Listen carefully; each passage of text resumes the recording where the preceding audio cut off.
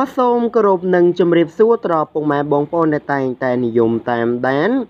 បាទព័ត៌មាននៅក្នុងបណ្ដាញសង្គម YouTube ជាទីមេត្រី នៅក្នុងវេលាខណៈនេះដែរខ្ញុំបានលើកយកនៅអត្ថបទព្រមានថ្មីមួយទៀតហើយសម្រាប់ចាត់ជូនពុកម៉ែបងប្អូនទស្សនាកំសាន្តដែលមានចំណងជើងថាអាយ៉ាទីបំផុតអ្នកនាងលើបរិយាបានថតរូប pre-wedding ត្រៀមចូលរោងការហើយពិតជាស្រស់ស្អាតខ្លាំងតែម្ដង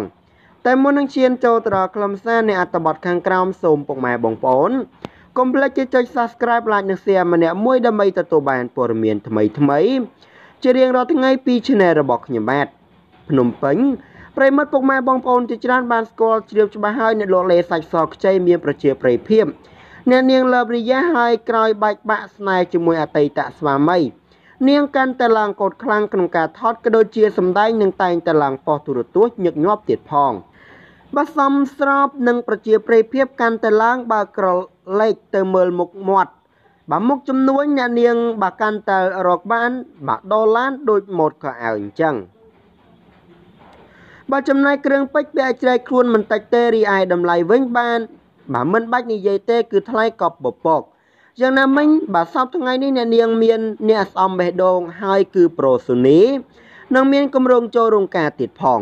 ក្នុងនោះផងដែរនាថ្ងៃនេះដែរកាន់តែភ្ញាក់ផ្អើលក្រោយអ្នកនាងបានទៅថត pre wedding ស្អាតឡើងប្លែក